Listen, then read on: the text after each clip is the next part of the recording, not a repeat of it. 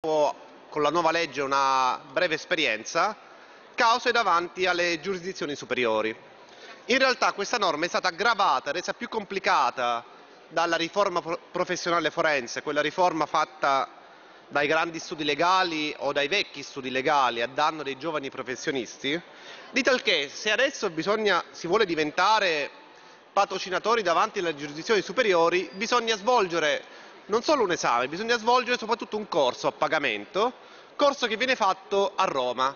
Ora mi immagino un giovane avvocato siciliano che per diventare cassazionista ogni fine settimana per tre mesi debba venire a Roma con un esborso di soldi immenso per diventare cassazionista. Tutto questo è semplicemente ingiusto, ingiusto verso gli avvocati, ma soprattutto verso i giovani avvocati. Grazie. Non ho altri iscritti a parlare. 26.19 Colletti, parere contrario, relatore di maggioranza governo, favorevole, relatore di minoranza, la votazione è aperta.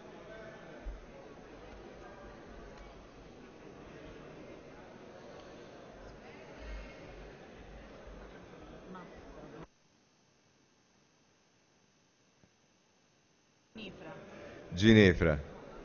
Vabbè Mazziotti, ogni cosa a suo tempo. Lomonte. Ginefra non riesce a votare. E, noi... Bene, a questo punto mi pare... Ma noi Nicchi sta votando se... No, prego, per carità. Abbiamo finito? Bene. La votazione è chiusa. Presenti 411, votanti 409, astenuti 2, maggioranza 205, favorevoli 160, contrari 249.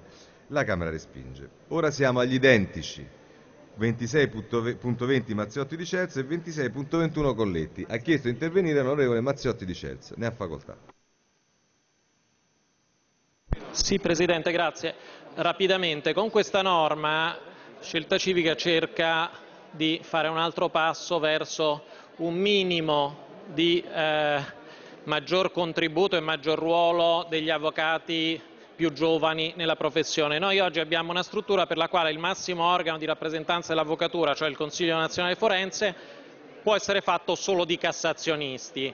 È una cosa del tutto anacronistica anche per ragioni legate al, al sistema per l'accesso al, al ruolo dei, di, di, chi esercita, di, di, chi è messo a esercitare di fronte, di fronte alle giurisdizioni superiori e noi proponiamo semplicemente che chiunque sia ammesso all'albo da almeno otto anni possa accedere all'organo di rappresentanza, che è un organo di rappresentanza di tutti gli avvocati, compresi i giovani che si occupa dei praticanti. Quindi concentrarsi solo su chi può patrocinare in Cassazione e concentrarsi su una categoria che ha una specializzazione professionale